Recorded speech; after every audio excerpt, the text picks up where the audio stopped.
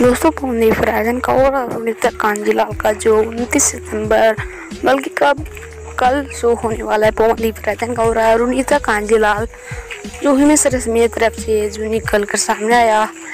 ये वीडियोस तो देखना ना भूलिएगा, काफ़ी रोमांस होने वाला है पवनदीप और अरुणिता कांजीलाल, जो दोनों साथ में ही है। तो काफ़ी मस्ती करके नज़र आ रहे हैं पवनदीप राजन और अरुणिता कांजीलाल, जो भी न्यू फ़ोटो जो निकल कर सामने आया है।